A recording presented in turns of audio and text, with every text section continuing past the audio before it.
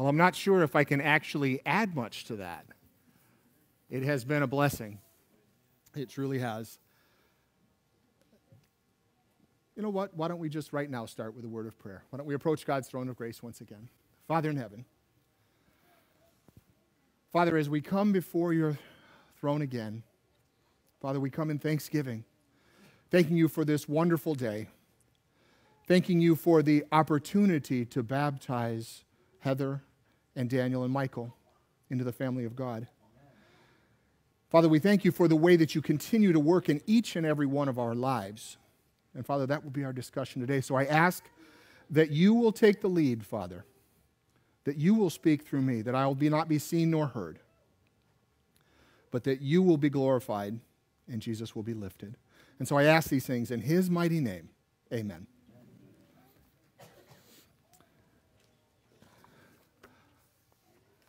This Sabbath, we're we're continuing on a set of thoughts in a series that we started, I believe, two weeks ago. Pastor Frank, the past two weeks, he preached on revival and he preached on, on reformation. And I'm not sure if you were if you were seeing it in the bulletin, but we put a, a very small quote from Ellen White in the bulletin, and it ran through the month of January before we started. And I'd like to share that with you right now she writes this in Review and Herald, March 22nd, 1887, just a few years ago. She writes, A revival of true what? A revival of true godliness among us is not something that we need, right? What does she write? It's the greatest and most urgent of all of our needs. To seek this should be what? To seek this to seek a revival of true godliness should be our first work. Does that place some importance on having a godly, living a godly life, having a godly character? Does that place any importance on it whatsoever? I would think it places a great deal of importance, right? And Pastor Frank shared, if you remember, he gave us on his first one on revival, he gave us a, a rather extensive list and long list of qualifications for us that would show us or tell us that we were in need of spiritual revival. Do you remember those? Some of them were that we stopped caring about those around us, that sin reigns in our lives and that we don't have a heart for people. Those are some of the larger ones, but there are, the list is quite extensive as to why in each of our lives we need a spiritual revival. And the quote by Ellen White doesn't say, There are those among you.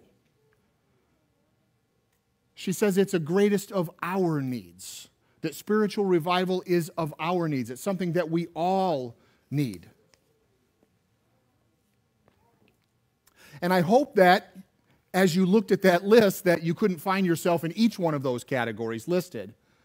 But I'm willing to guess if we took a hard look, that there would be probably more than one for which we would qualify.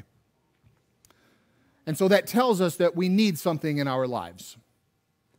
When I think about the word revival, what, is, what does revival mean to you? You can answer out. You know, you know how this goes. I'm going to ask questions. You can shout out answers. What is a revival? A bringing back to life, right? It's perhaps something that you had in the past, but that's faded away. And now it's time that we need to revive you. We might need to restore you. But as I was looking at definitions, there was one that really struck, my, struck me and caught my eye it said that revival is, is a restorative process that brings something back to its true nature and its true purpose. That's a revival as well. And I believe that's what we need in each of our lives. We need, in the Christian's life, revival is going to be restorative. We're going to, we're going to do this in two parts revival and reformation. I want to read another quote to you. But I want, first want to say this revival is, in fact, a restorative function, the desire, the plan, the intention, the hope of someone returning to their true nature and purpose. She goes on. We're going to combine them for a moment, then we're going to split them back apart. Review and Herald, February 25, 1902. A revival and a reformation must take place under the ministration of whom? A revival and a reformation will only happen through the Holy Spirit. Revival and reformation are exactly the same, right? She writes, no, they're very different. They're two completely different things. Revival signifies a renewal of spiritual life, a quickening of the powers of mind and heart, a resurrection from what? From spiritual death. Is that where we find ourselves? Spiritually dead. Because for that, we absolutely need a revival.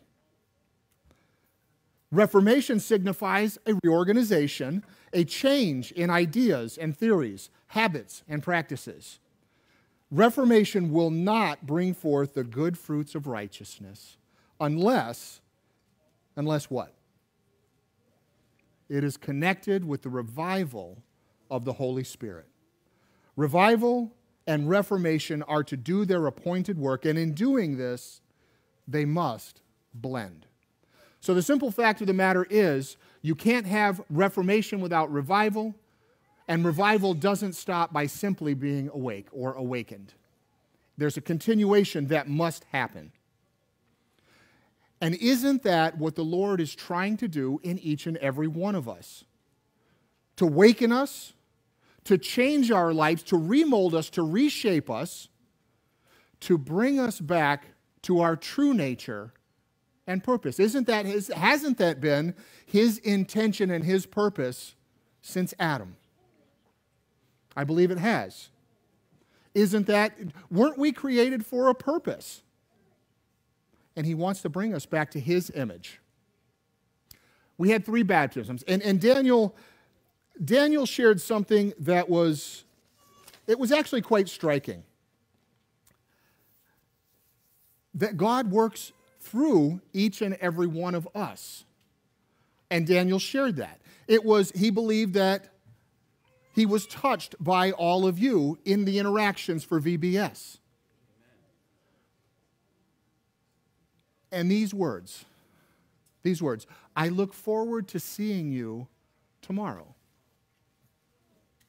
Can you, the Lord says that to us each day, doesn't He? I look forward to seeing you tomorrow each time we go to bed, each time I look forward to seeing you tomorrow. I don't want you to be out of my presence. I'd like to start right in. I'd like to jump in to the concept of revival. And I want to start, we're actually going to focus, both this week and next week, we're going to focus on two verses. And those verses can be found in Romans because I think they epitomize revival, and reformation when combined together. If you turn with me to Romans chapter 12, Romans chapter 12, and we're going to start right in verse 1. And just a foreshadowing, next week we're going to focus on verse 2. Romans chapter 12 and verse 1. Paul writes this, and this is something that I've been reflecting on for a long time. Paul's words I beseech you, therefore, brethren, by the mercies of God that you present your bodies what? A living sacrifice, holy, acceptable to God, which is your reasonable service. Sometimes we get caught up in the words. I haven't used beseech much recently. I might ask, urge you, ask you, something like that. And so, as we're working through some of these, I included another version. I include the Amplified Bible. And anything that's parenthetical or bracketed is added for understanding.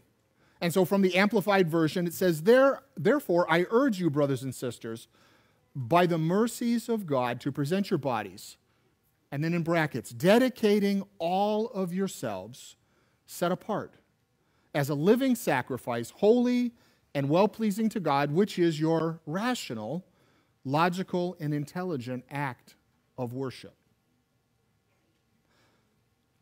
A living sacrifice. Before I go on, I want to skip to one other verse. We're going to go to Galatians 2 20. Galatians chapter 2 and verse 20. Again, Paul writing.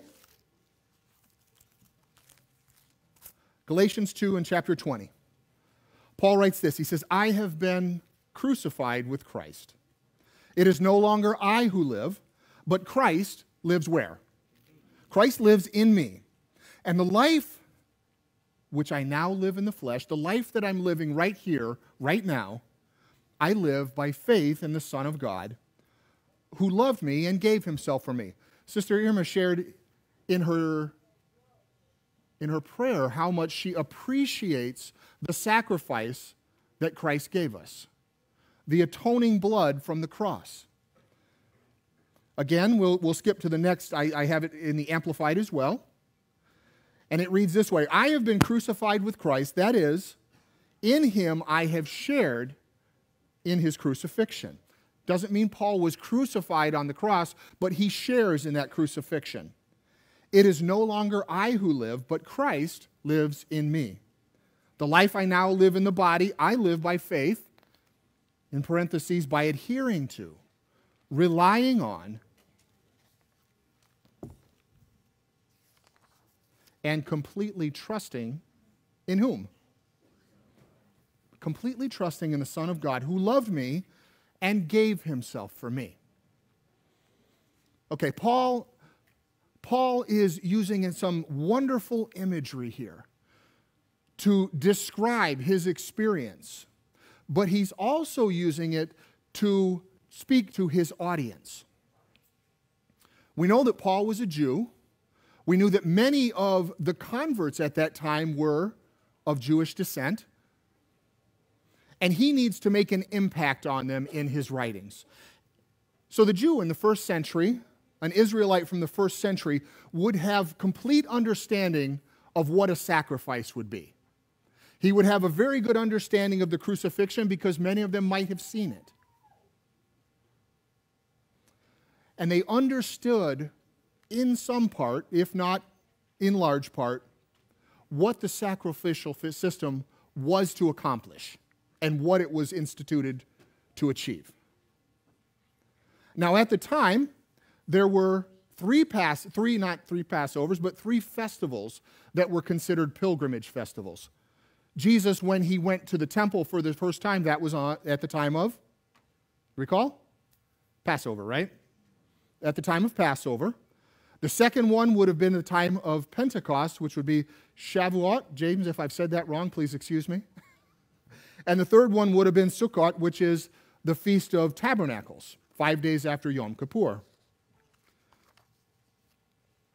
And he's using an imagery that they would have understood and terms that they would have understood. And the moment that he said them, it would have painted a picture in their minds because they've been through these things.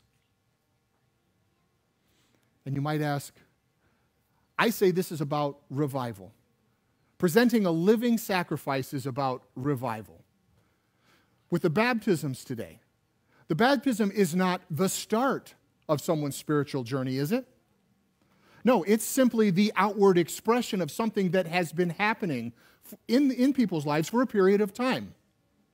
And in that same way, you are not going to present a living sacrifice or a sacrifice in any capacity without some prompting from the Holy Spirit and an understanding of what you're doing.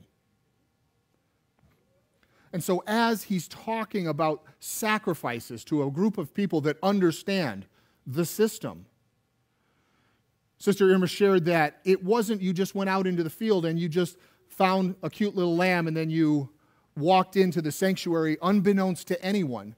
No, there was, there was a process to this, and it was quite public.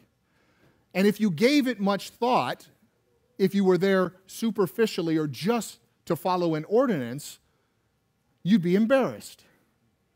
But if you were there for the right reasons, because you had, understand, you had understood what sin was and you understand now what sin is. It's a redemptive process, it's a restorative process. It's bringing you back. But why was, this, why was the sacrificial system instituted? Was it simply to quote unquote deal with sin? Was it simply so that a bunch of animals would lose their lives so that blood would flow from the sanctuary? No, it had a, it had a great deal more to it. But if we turn to the book of Isaiah, chapter 1 and verse 11, Isaiah chapter 1 and verse 11, right in the beginning of the book, Isaiah writes something that's quite profound. And it's not just Isaiah speaking, it's the Lord speaking to his people. He says this to, the Lord says this, to what purpose is the multitudes of your sacrifices to me? Why are you sacrificing? I have had enough of burnt offerings, of rams, and the fat of fed cattle. I do not delight in the blood of bulls, or of lambs, or of goats. If we go on to the Amplified Version, it says this What are your multiplied sacrifices to me? What is this supposed to mean to me? In brackets, without your repentance. Why are you here? I've had enough of your burnt offerings of rams and the fat of cattle without your obedience. And I take no pleasure in the, in the blood of bulls or rams or goats offered without repentance. Why was the sacrificial system instituted? It had a purpose, and it wasn't just to have burnt offerings or to decimate the population of lambs and of goats. And it speaks to intent and to desire, and that has to be something that we consider in these things. The real efficacy in the system was not in the sacrifice, but in the intent of the sacrifice. It was, if it was offered without thought, if you didn't care, if it didn't matter, it meant nothing. You were simply performing a function. But the real purpose was to understand that sin cost something and not just to continue in that path, but to look to change. That was sin's purpose excuse me, that was the sacrificial system's purpose. To help, to prick the heart, to have people understand, to revive you from where you were to where you didn't want to continue doing that anymore. To pull you out of the spiritual lethargy.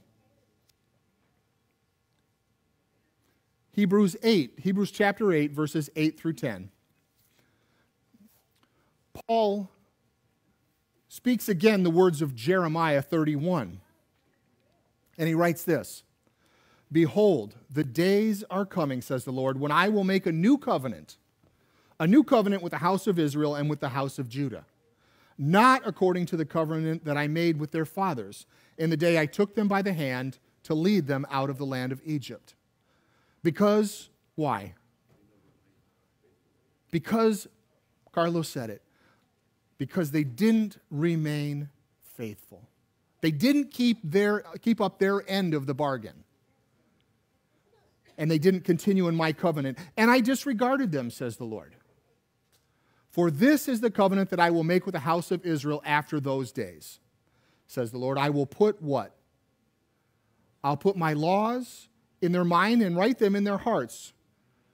And then the words that he's spoken so many times, and I will be their God and they will be my people. Amen. Many times I've heard it said, well, there's the old covenant, and then there's the new covenant. The old covenant was just about sacrifices, and the new covenant is just about grace. But my question to you is this reading what Paul wrote in Hebrews, do you see a difference in the covenants?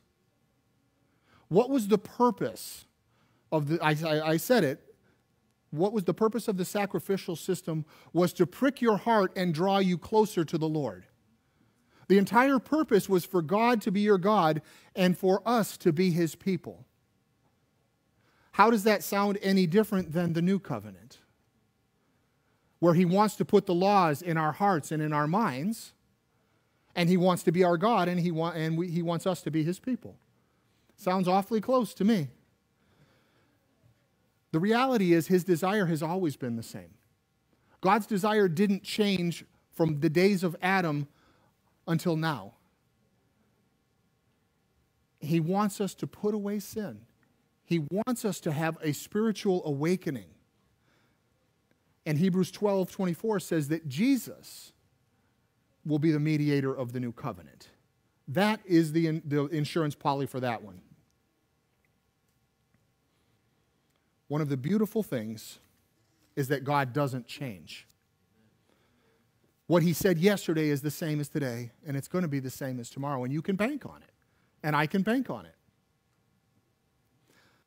Another quote from Ellen White Christian Service, page 44. And I don't share this to shock anybody. I don't share it to point fingers, but simply to, to show where we sit and the state of things. She writes this Today, a large part of those who compose our congregations are what? They're dead in trespasses and sins. And she's including herself in that. Our congregations are dead in trespasses and sin. They come and go like the door upon its hinges. Their spiritual walk is an up and down cycle all the time a revival and then a sliding. A revival and a sliding. A revival and a sliding. For years, they have complacently listened to the most solemn, soul stirring truths, but they have not put them into practice. Revival and what? Reformation. You are revived, and then you do nothing about it. I'm revived, and I do nothing about it. And this cycle continues. Therefore, they are less and less sensible of the preciousness of truth. As I hear it over and over, it becomes to prick my heart less and less because it's a message that I've heard and I've done nothing about. While they are making a profession, I am a child of God, I am a disciple of Jesus, they deny, deny the power of godliness. If they continue in this state, God will what? God will reject them.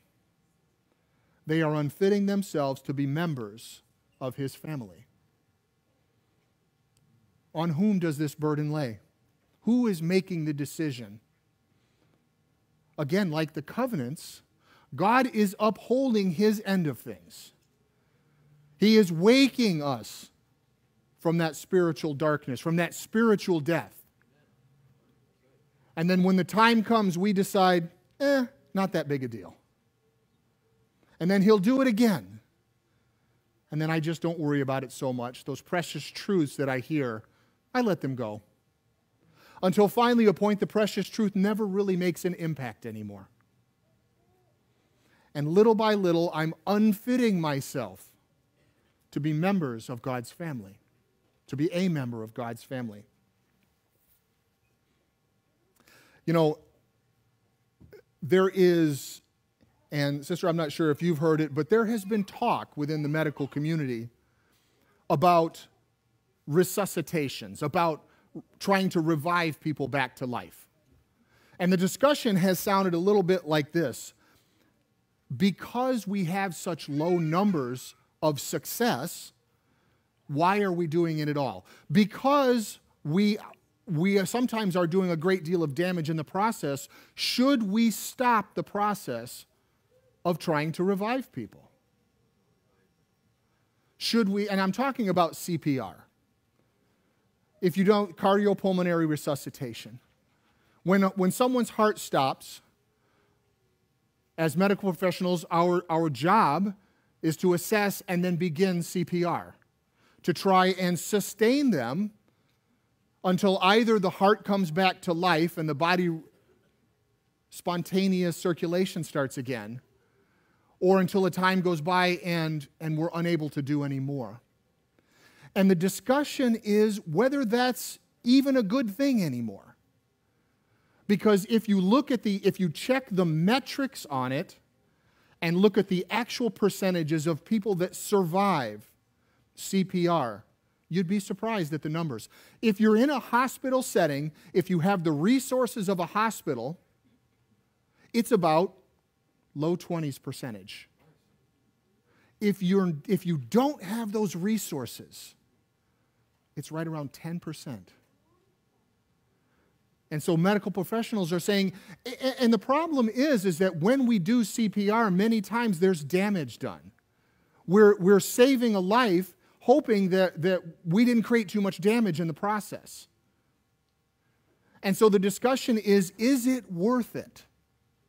Is it worth it to, is it worth it to even begin the process? Or are we better off because the numbers are so low just to do nothing? That's a tough decision, isn't it? Having the knowledge and the possibility to save someone's life, the decision is simply being based on is it worth it? We've got such low numbers. And I thank God, I thank God that He doesn't have His metrics the way that we do. Because if that was the case, I'm certainly no one's judge, and I don't, in, I don't intend to do that. But by the things that I read and the things that I hear and the things that I see, I'm afraid that his numbers of life saving work might be a little bit low. And he doesn't just say, you know what?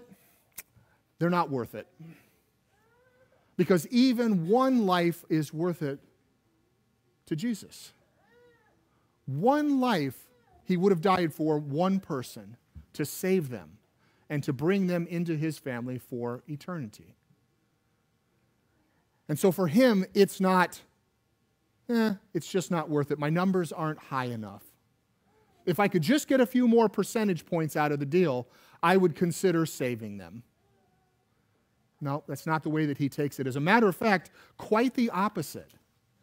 If we look into, if we just take a few points of scripture, in Joshua 1 5, he says, I will not fail you or abandon you.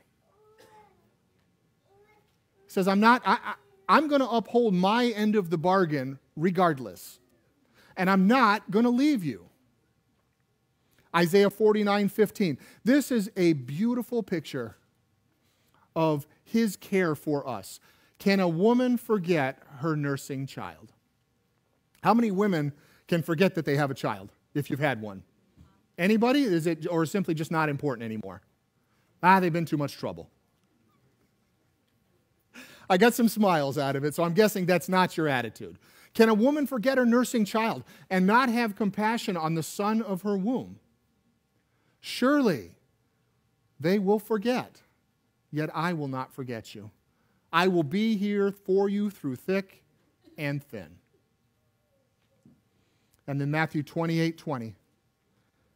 I am with you always, even to the end of the age. Even unfortunately, for those of you that choose not to be with me for eternity, I'm still with you. And I'm still wooing you. I'm still pulling you. I'm still working to bring you out of spiritual lethargy. I'm still putting forth the same effort that I did all those years ago. I still want you with me forever and I'm not changing. That will not change. And so, as Paul writes, back to that verse right in the beginning, Romans 12 1.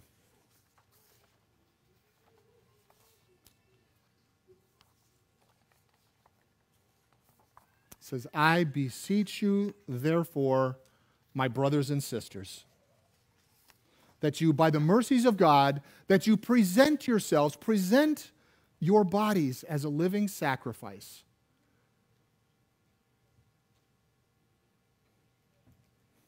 Present your bodies as a living sacrifice. To everyone who understood Paul's words at that time, the only sacrifices they knew about was a dead sacrifice. And Paul is challenging them. He's saying, that's not what he's looking for. And they would have also understood that the sacrifice that is being requested is for everything. It's not a piece of you here and a piece of you there. It's for body, mind, soul. It's everything. It is a complete sacrifice. Holy and well pleasing to God, which is your, in the Amplified, your reasonable, your rational, logical, intelligent act of worship. In every way present yourself as a living sacrifice through your thoughts, through your actions, through everything that is. Present yourself to God. And let Him revive you. Let Him restore you. Let Him return you to the original design and the original purpose. That's, that's the intention, that's His desire. And isn't that what we want? Or do we want something different? Because if we do, you know, if we ask for forgiveness for something and yet we have no intention of ever changing, no intention of stopping, no intention of anything but my desire, is our request a reasonable request? Because along with forgiveness become, comes repentance, right? You need to turn away from it. And that's what we'll look at next week. Revival this week. Next week, we're going to talk about Reformation. And the verse we want to center on will be this Romans 12, 2, because Paul continued on. And Paul says this, and do not be what? Don't be conformed to this world, but be transformed by the renewing of your mind, that you may prove what is good and acceptable and the perfect will of God. There's intentionality in revival and reformation. There is desire in revival and reformation. It's coming through the work of the Holy Spirit. But we have to be willing to be a part of it. God will do his part. He says, I will not abandon you. And in the end, we will be remade into his character. Reformation, uh, I was thinking about it. It's, it's sometimes, it's, it's not, a, it's a positive connotation. The word has a positive connotation, but it can have a negative one as well. Reformation is something that's going to take time. It's going to take intentionality, but more than that, it's going to take the Lord's Spirit to do it. And the promise is that He will uphold His end of the bargain. And that walk that goes up and down, that, that that surge, that what looks like a sine wave, will stop. It will have a, a constant upward movement. We'll stop slipping into spiritual, it's a tough thing to say, spiritual death. Lethargy is spiritual death. And that's not the Lord's desire for us. And we don't have to have things that way. But the beautiful thing, like I said, He's not looking at the metrics, He's looking at what we can be and what He wants us to become. So bow your heads with me as we pray. Father in heaven,